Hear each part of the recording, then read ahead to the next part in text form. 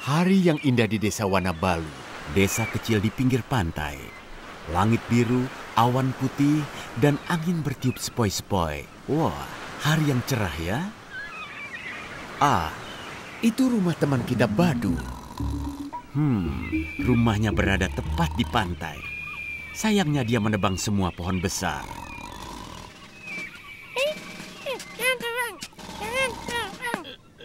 Oh, apa dia menebang pohonmu juga? Ya, habis, habis. Ya, ya. Benar sekali, tidak baik menebang semua pohon besar di pinggir pantai. Pohon akan melindungi kita jika lautan mengamuk. Betul. Jualan ikan ya? Tidak banyak ya ikannya. Yeay, ore, ayo kita main. Yeay, ayo. Itu makanan yang kucari. Ya, itu maksud tandanya dijual ikan.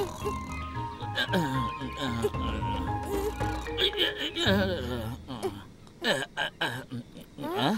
Apa? Hmm? Oh. Ah, pergi sana.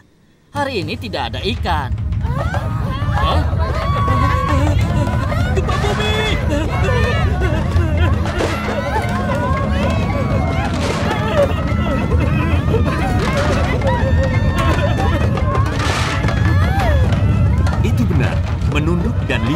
Kepala. Dan menjauhlah dari bangunan.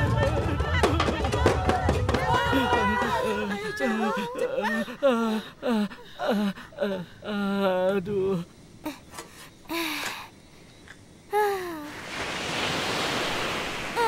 Apa itu?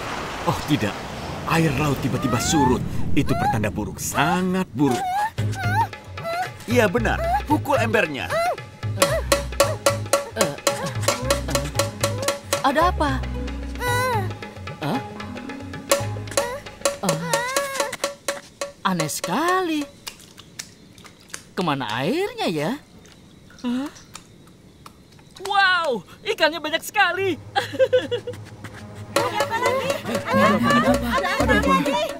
Yuhu! Hari ini kita panen ikan. Yuhu!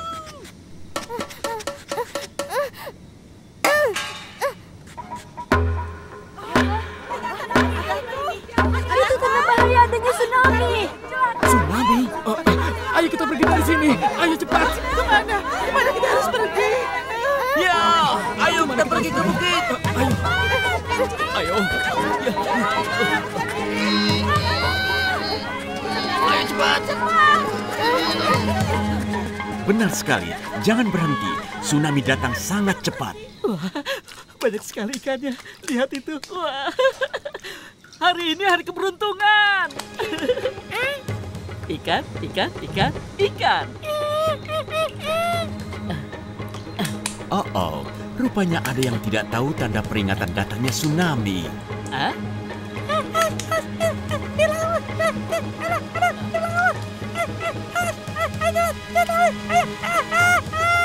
Aku tidak mengerti apa hewan di sini sudah pada gila.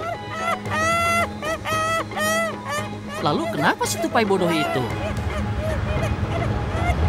Ah, ah, ah? Apa itu? Gelombang? Gelombang besar! Gelombang besar! Gelombang besar! Lari!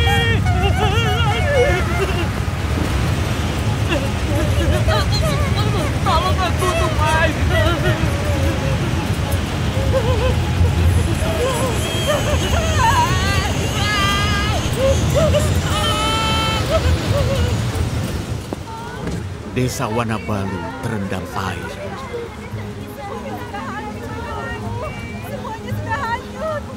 Rumahku sudah tidak ada lagi. Terbawa air. Aku harap semuanya selamat. Lihat, airnya sudah mulai surut. Kita harus kembali. Ayo kita lihat siapa tahu ada yang butuh bantuan. Ya, ya, ya, ya, benar. Mereka butuh makanan dan juga baju bersih. Ayo, ayo cepat. Ayo, ayo. Benar, berhenti. Tetaplah di tempat. Tsunami bukan hanya satu gelombang. Biasanya ada gelombang susulan yang lebih berbahaya dari gelombang pertama. Tetaplah bertahan di daerah yang tinggi sampai ada pemberitahuan dari pihak berwajib tentang keadaan aman. Sudah aman. Tsunami memang sudah berlalu, tapi hari ini benar-benar buruk. Desa Wanabalu tidak akan seperti dulu lagi. Kita membangun rumah terlalu dekat dengan laut. Kita harus merencanakan jalur evakuasi. Kita harus tahu tanda peringatannya. Seperti gempa di dasar lautan. Atau air laut surut tiba-tiba. Kita harus siapkan tas siaga untuk keadaan darurat. Benar, jangan membangun rumah terlalu dekat dengan laut. Ketahuilah tanda peringatan, rencanakan jalur evakuasi, dan siapkan tas siaga untuk keadaan darurat. Karena walau tsunami sangat jarang terjadi, tapi jika terjadi, lihatlah akibatnya. Wow, untung sekali kau dapat berpegangan pada pohon itu. Oh, kau telah menyelamatkan hidup Badu.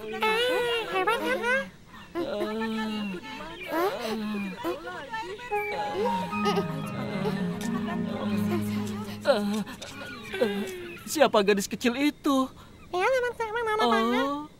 oh, oh, oh.